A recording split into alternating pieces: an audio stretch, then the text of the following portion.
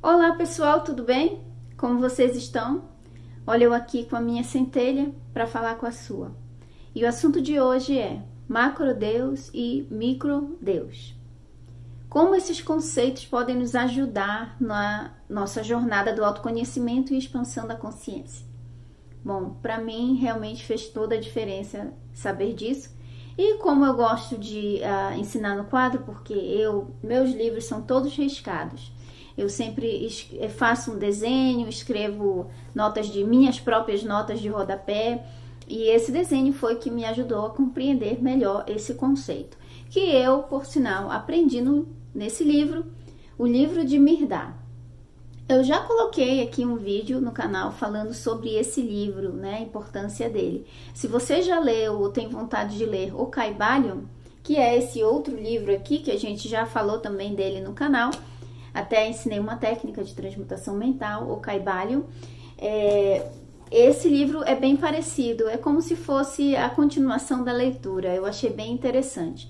Porém, esse livro aqui, ele fala, o de Mirdá, livro de Mirdá, ele fala numa linguagem muito simbólica, então é, o conhecimento bem oculto, você tem que tirar o, a lição das simbologias que o livro apresenta. E mais especificamente, no capítulo 34 desse livro, é, ele nos ensina sobre o óvulo materno, ou ovo materno, tá? Que é, ele fala sobre ah, esse conceito de macrodeus e microdeus que eu vou passar aqui para vocês, tá? Aqui ele fala. Então, a forma como eu vou explicar para vocês aqui é a forma como eu ah, foi mais fácil para eu entender esse conceito e eu aprendi dessa forma e vou passar para vocês e espero que seja útil, ok? Então, primeiramente, o que é o macrodeus? É a primeira, o primeiro conceito a saber. Tem essa frase aqui que eu tirei do próprio livro de Mirdá, onde ele explica aqui: o espaço e tudo o que nele há é um ovo, cuja casca é o tempo tá? Então, é, o macro Deus, o conceito de macro Deus é essa essa força, né? É o nosso criador, é a fonte criadora, da onde tudo se origina. É o todo, é o puro amor, é a essência de tudo o que há, de tudo o que é, tá? Deus, que o homem chama de Deus, é essa essência. Eu gosto muito do conceito do livro que é dado para esse macro Deus no livro A Ciência para Ficar Rico do autor Wallace de Wattles. Eu já falei desse livro também, mencionei ele no canal, num livro que eu num vídeo que eu falo sobre é, prosperidade aqui no canal, prosperidade e ressonância harmônica. Então eu, eu menciono esse livro. Inclusive o Wallace de Wattles foi uma das consciências que eu pedi na minha primeira primeiro áudio da ressonância harmônica, que eu gosto muito. Então nesse livro é, Wallace de Wattles fala que existe uma substância amorfa que permeia, penetra e preenche os interespaços do universo. Um único pensamento nessa substância produz a coisa imaginada pelo pensamento. Então, a primeira, a primeira regra que ele explica nesse livro da ciência para ficar rico, para a verdadeira prosperidade é você saber que existe essa substância amorfa e que ela é que é dela que tudo se origina. Então, o conceito de macro Deus é essa substância amorfa, é essa energia. Por que amorfa? Amorfa porque não tem forma. Deus não tem um corpo, uma forma. Isso também pode ser verificado no livro do um, Neil Donald Walsh que é o livro chamado Conversando com Deus, tá? Que é um livro maravilhoso, aonde a, o autor realmente consegue se conectar né, com, a, com essa substância amorfa, com, com Deus dentro dele, e ele escreve esse livro lindo, maravilhoso, é, é, como se fosse uma canalização, e eu, eu considero um livro canalizado. Né, porque ele ouviu a voz e a voz foi falando. E nesse livro, é, ao conversar com ele, Deus fala que não tem forma, que não tem uma única forma. Né? Então, a substância amorfa que permeia, penetra e preenche os interespaços do universo. Dessa substância tudo se formou, dessa substância tudo, tudo se originou. Num tempo no espaço, num tempo atrás, não existia nada além desta substância. E na verdade continua não existindo nada além dessa substância, porque tudo o que existe veio, provém e é sustentado por essa substância que é o macro Deus, que é você pode chamar de, de cosmo, de Deus, de Jesus, de Jeová, de qual nome é, é, na sua tradição é, você queira uh, chamar. Porque na minha tradição cristã, né, católica, evangélica, que eu tenho os dois lados da família, e eu sempre aprendi como Deus. Deus Pai, né, Deus Filho, Deus Espírito, eu aprendi assim. Então essa figura de Deus, a figura é, maior, a fonte criadora, o Criador, que é sem forma, mas que permeia e penetra os interespaços do universo. Por exemplo, não existe, a própria ciência já confirmou que não existe vácuo, não existe é, é, um espaço onde é, não existe nada, né? Porque sempre esta substância que a o próprio Max Planck, que foi né, o pai da física quântica, ele chama de matriz divina né? Alguns outros físicos quânticos chamam de vácuo quântico Deus, tá? Deus. Então, este é um macro Deus. Ele está em todo lugar. Ele está em tudo e em todos. Não existe um espaço entre eu e a tela desse computador. Esse espaço está preenchido pela substância amorfa, pelo macro Deus. Então, este é o conceito que no livro a gente aprende de macro Deus.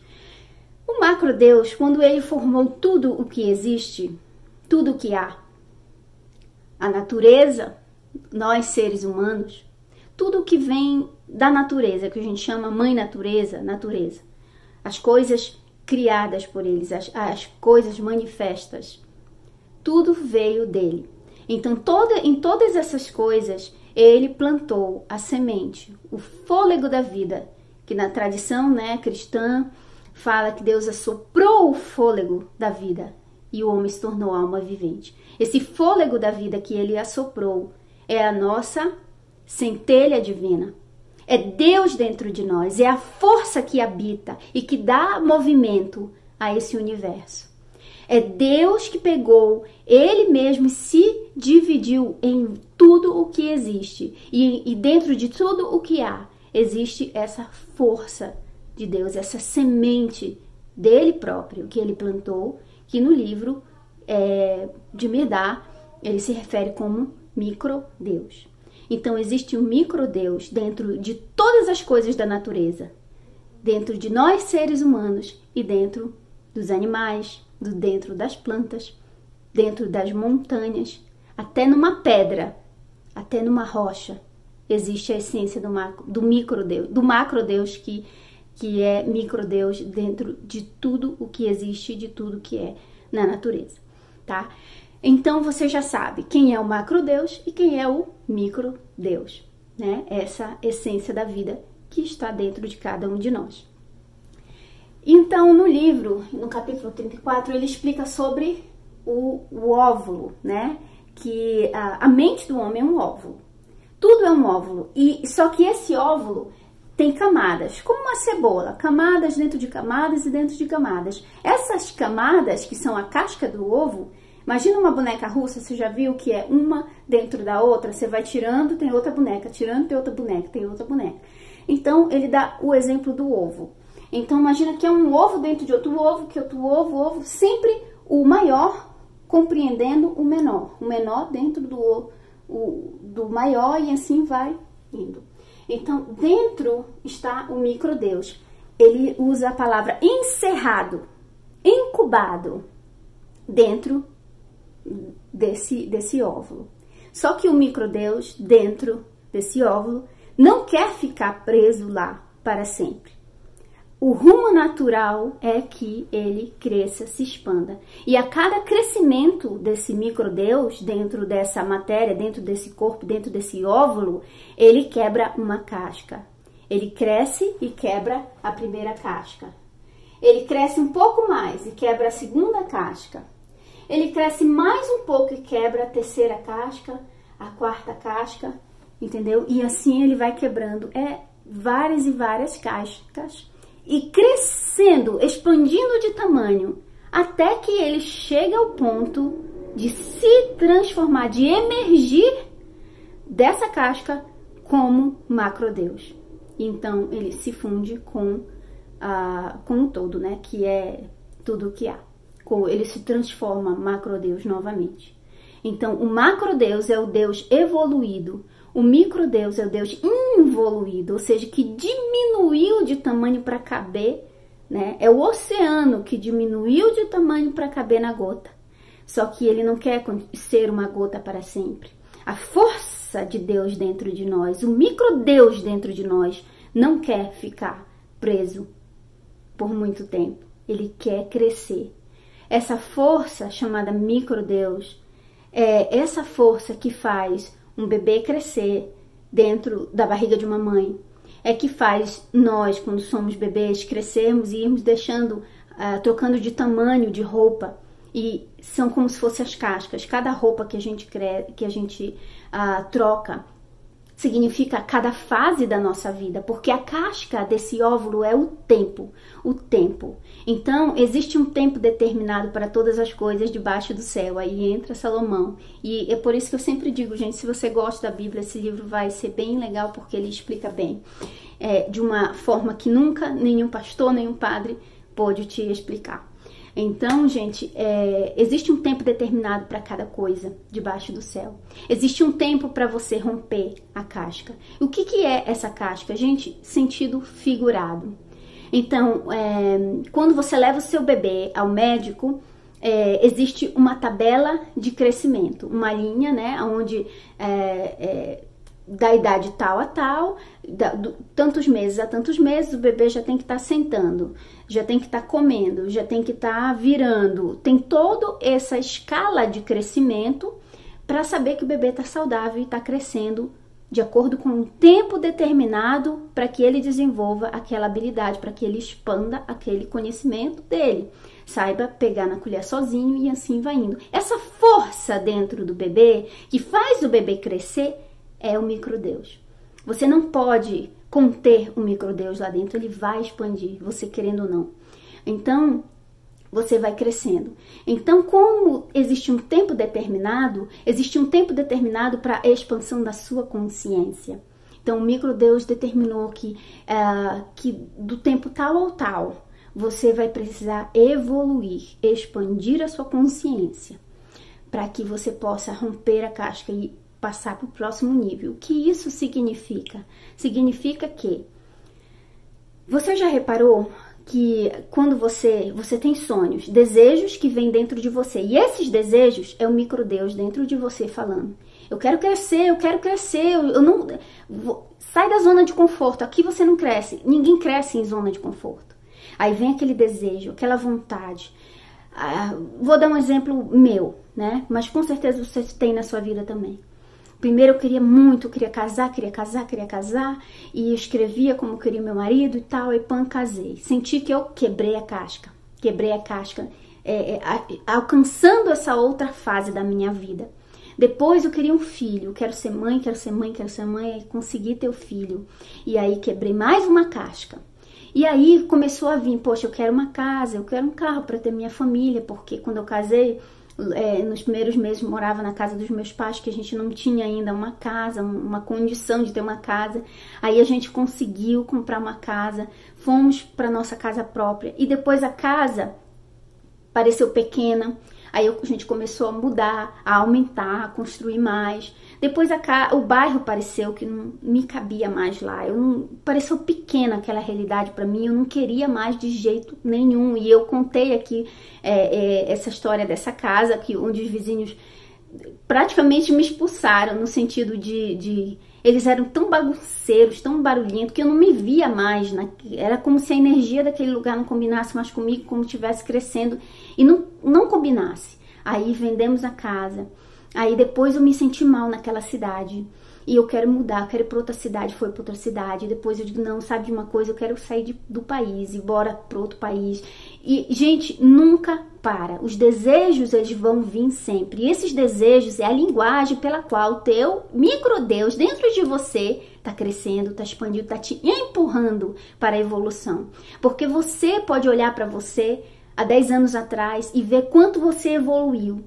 Quanto você evoluiu, não só de aparência, não só de, mas de mente, de consciência. Naturalmente, mesmo que você não estude física quântica ou não estude, alguém não estude sobre evolução da consciência, a pessoa naturalmente evolui a consciência. Até que vai chegar um dia onde ela vai chegar nesse conhecimento que a gente está estudando aqui. Né? Algumas pessoas não vão chegar ainda nessa vida, porque aqui no livro mesmo ele explica que você não alcança o nível de macro Deus numa única existência. Você precisa de outras e outras, mas quando você todas essas experiências que você viveu, as pessoas com quem você aprendeu, porque até as pessoas que vêm na nossa vida, elas contribuem para o crescimento desse macro Deus dentro de nós. E as informações das nossas vivências, das, da, das pessoas com quem a gente conviveu, vai ficando tudo no nosso campo energético, no nosso DNA espiritual e a gente vai crescendo, crescendo, crescendo. Então, numa outra vida que você vier, você já vai vir maior, conhecendo muito mais desse conteúdo que a gente está estudando aqui de física quântica e você vai vir maior e vai vir maior. Então, uma pessoa que nasceu com já com como um grande avatar, ela não foi criada da noite pro dia. Ela já veio de muitas vidas. Ela já veio de muitas existências, estudando e aprendendo, evoluindo, crescendo, expandindo. Então, gente, é um, isso daí, né? Eu, eu acho que já ficou bem claro aqui o que é, o que são essas cascas? As cascas são o tempo que você tem para evoluir de uma coisa, de um, de um, de uma fase da sua vida para outra. Essas cascas são fases da sua vida e você tem um tempo determinado para chegar nessas fases, né? Segundo a numerologia cabalística, é, cada pessoa tem um ciclo de mudanças que é onde quebra-se essas cascas e você expande onde coisas muito grandes acontecem, tipo, é onde tem um, um despertar muito grande. Né, que acontece na vida da pessoa, dependendo de tantos em tantos anos. Tem pessoas que é de 4 em 4 anos, tem pessoas que é de 5, tem pessoas que é de 7 em 7 anos. Cada pessoa tem ah, uma fase da vida para evoluir. Né? Eu, eu, estava vendo né, que eu fiz o meu mapa é, numerológico e, e falava que a minha vida tem um ciclo de mudança que é muito grande, algo muito grande acontece a cada sete anos na minha vida. E eu olhei para trás e fui contando, né, de sete em sete anos, e realmente deu certinho. É, meu casamento, aí depois, por exemplo, a nossa mudança para cá, para os Estados Unidos, tudo isso foi de sete em sete anos. E eu fui olhando para trás e realmente coisas, as coisas assim que eu mais lembro como grandes na minha vida foram de 7 em 7 anos. Mas tem pessoas que é de 5, tem pessoas que é de, de, de 4, vai depender aí, né?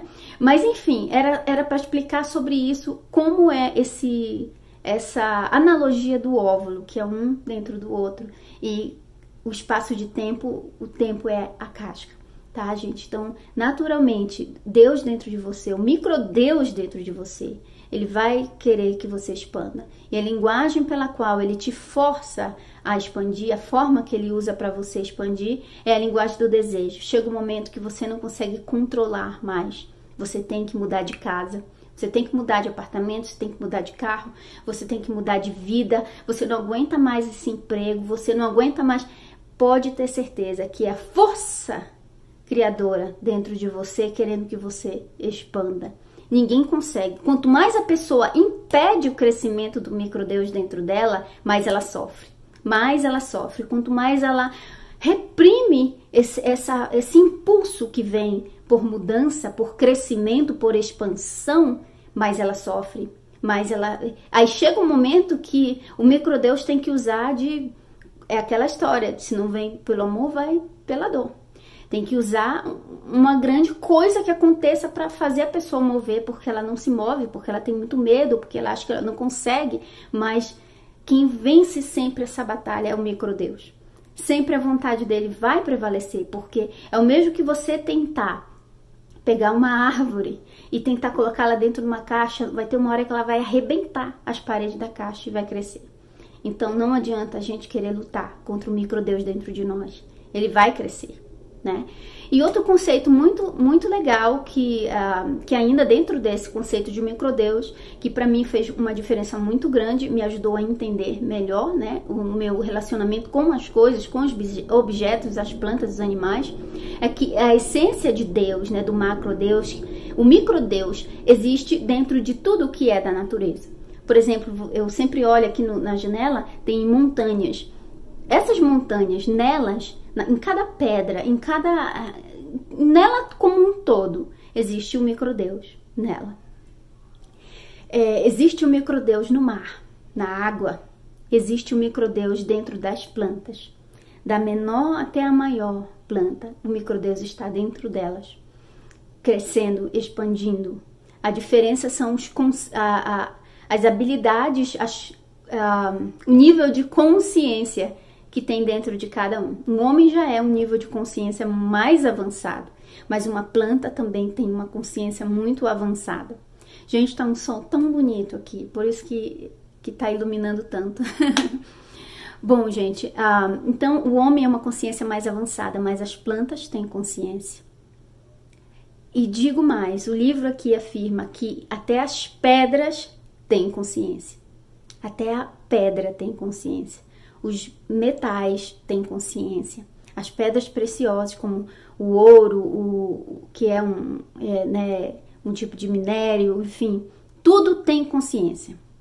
O ouro, é, as pedras preciosas como diamante, ametista, safira, tudo que vem da natureza tem um microdeus dentro de si.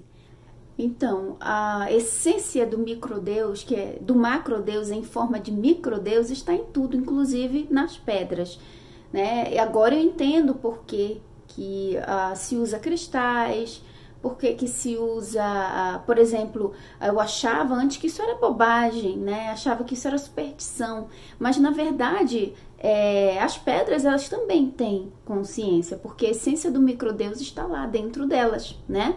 Antigamente eu olhava e achava que essas pessoas muito ricas, milionários, bilionários, fazer maçaneta de ouro, pia de ouro, isso daí era bobagem, ostentação, mas na verdade o ouro que ali está tem consciência. E usar esse tipo de coisa realmente atrai mais. Porque se você aprecia o ouro, uma pessoa que tem uma maçaneta de ouro na casa, ela aprecia aquele mineral, né? Ela aprecia o ouro, ela está apreciando o microdeus dentro do ouro. Se você tem uma, uma pedra de cristal, você aprecia essa pedra, você está apreciando o microdeus dentro daquele objeto, daquela, daquele produto da natureza, né? Então, isso faz com que mude a nossa, o nosso pensamento e a nossa relação com tudo à nossa volta, inclusive com os objetos. Porque o livro fala que mesmo esse objeto tendo sido pego industrializado, mas o microdeus não deixa de existir naquele produto da natureza, naquele objeto, naquela matéria-prima. Porque se você pega uma árvore e transforma em papel, o microdeus dentro da árvore apenas mudou de forma, mas ele continua no papel.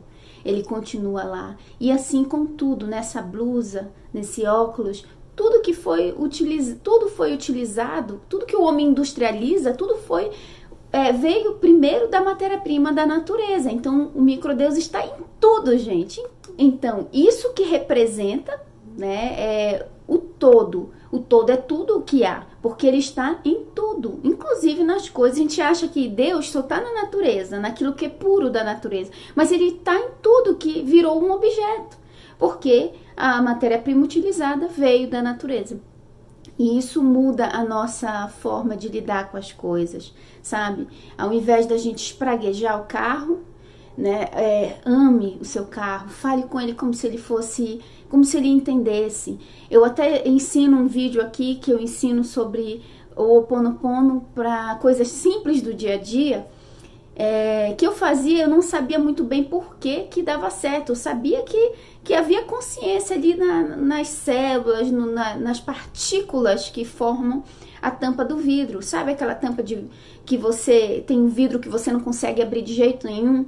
Você fecha os olhos, imagina falando com o microdeus dentro de cada partícula que forma aquele, aquela tampa de vidro. E, e diz assim: Sinto muito, me perdoa, eu te amo, sou grata. Você pode, por favor, se abrir para mim? E aí, toda vez que eu faço isso, gente, parece mágica, né? Pode até fazer aí para brincar com o pessoal. Bom, gente, é isso. E sendo que o microdeus está em tudo, a gente passa a valorizar as coisas, a respeitar até aquilo que a gente diz que é inanimado quanto mais nos animais, né? No seu pet, né? O microdeus está lá nele, né? Nas suas plantinhas, o microdeus está lá. O microdeus está em tudo, porque o macrodeus se tornou em vários pedacinhos de microdeus e formou tudo o que há. Então, quando você entende esse conceito de que tudo tem um microdeus em si, você fala, você se comunica, um microdeus dentro de você se comunica com o microdeus em tudo que há no seu ambiente, com as outras pessoas, com os animais, com as plantas. É por isso que é tão gostoso abraçar uma árvore, se abraçar uma árvore e falar com o microdeus dentro daquela árvore. Enfim, gente, é, basicamente esse é o conceito de microdeus e macrodeus, tá? Então, o microdeus que existe em mim, minha centelha divina, agradece o microdeus que existe em você. Até mais, pessoal!